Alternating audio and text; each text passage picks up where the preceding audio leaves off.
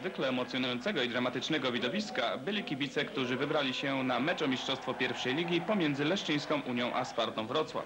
W spotkaniu tym nie brakowało niczego. Ponad 10 tysięcy widzów oglądało pasjonujący pojedynek. Goście wystąpili wzmocnieni Duńczykiem Tomem Knudsenem, natomiast w szeregach Unii zadebiutował Zdenek Tesarz. I przed nami wyścig pierwszy, w którym ujrzymy w kasku żółtym Wojciecha Załuskiego, w kasku czerwonym Romana Jankowskiego, w białym Zbigniewa Lecha i w niebieskim Sławomira Rypienia.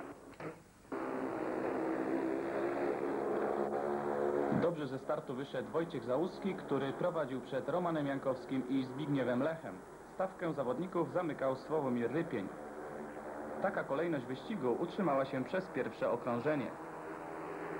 Prowadził Załuski przed Jankowskim, Lechem i Rypieniem.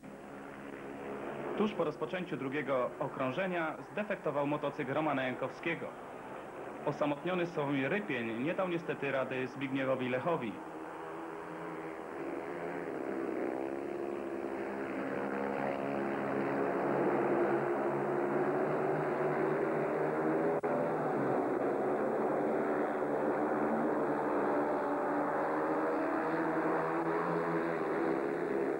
Wyścig pierwszy zakończył się podwójnym zwycięstwem wrocławskiej Sparty. Jako pierwszy linię mety minął Wojciech Załuski, drugi był Zbigniew Lech i trzeci Sławomir Rypień. Roman Jankowski, jak już wspomnieliśmy, na skutek defektu musiał zjechać z toru. Zwycięzca wyścigu Wojciech Załuski uzyskał czas 64,6 sekundy.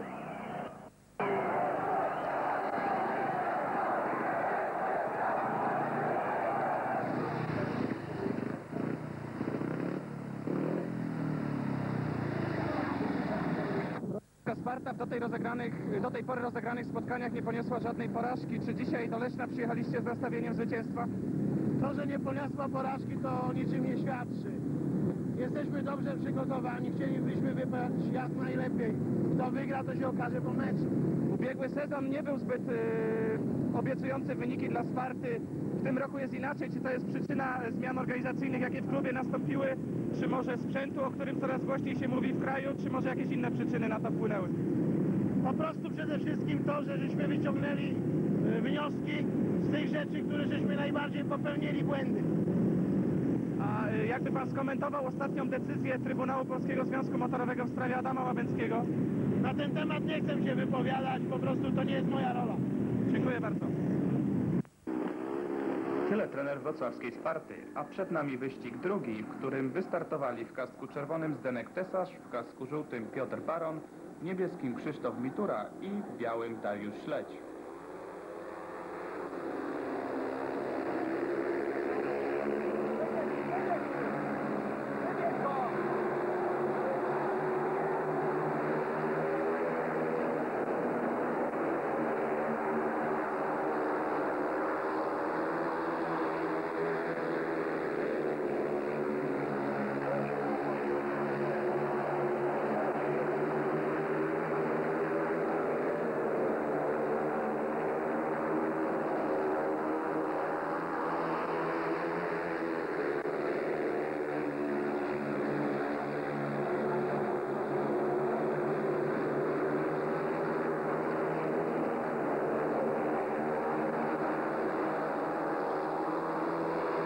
W wyścigu tym niezwykle udanie zadebiutował Czech Zdenek Tesarz, który zainkasował trzy punkty. Tuż za nim linię mety minął Dariusz Śledź, trzeci był Piotr Baron, a czwarty Krzysztof Mitura. Wyścig zakończył się remisem 3 do 3. Zwycięzca Zdenek Tesarz osiągnął czas 63,9 sekundy.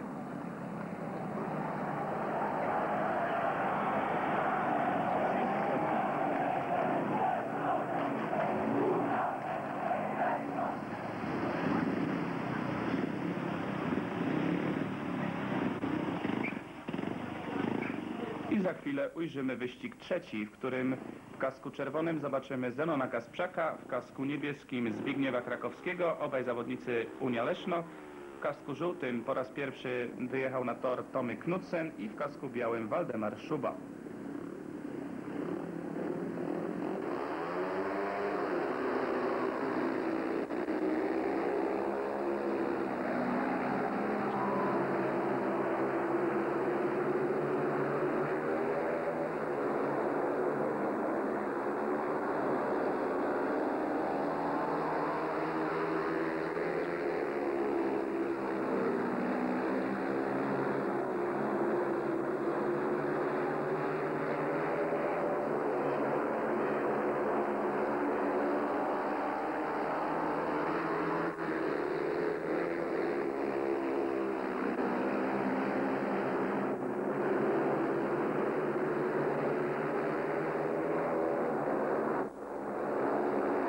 Trzeci to popisowa jazda w wykonaniu Tomy Knudsena, który prowadził od startu do mety.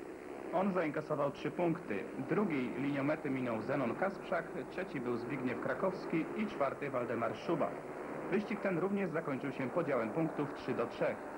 Zwycięzca wyścigu Tomek Knudsen uzyskał czas 63,8 sekundy i był to najlepszy czas dnia. Po trzech wyścigach prowadziła wrocławska Sparta 11 do 7.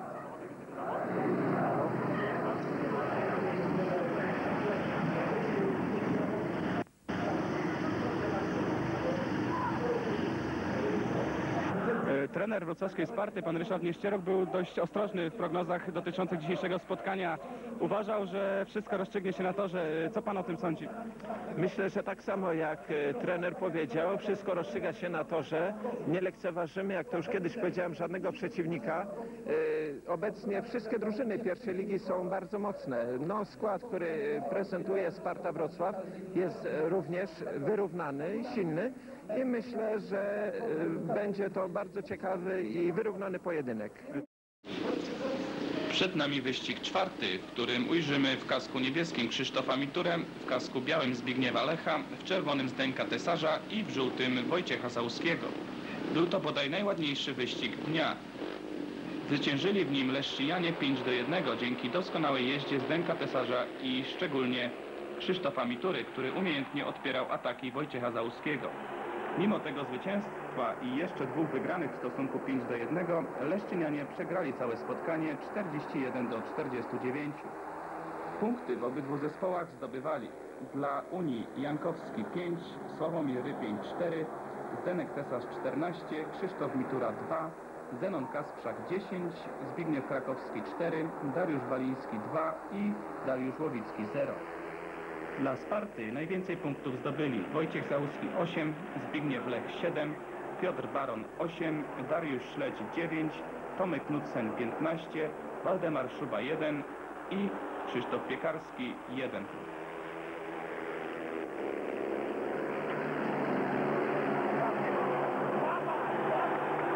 Popatrzmy jeszcze przez chwilę na fragmenty czwartego wyścigu.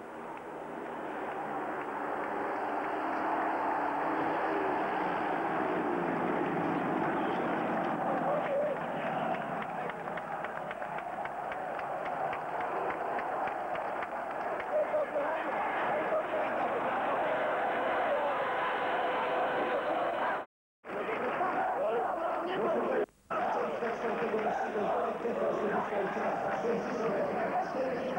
a tutti.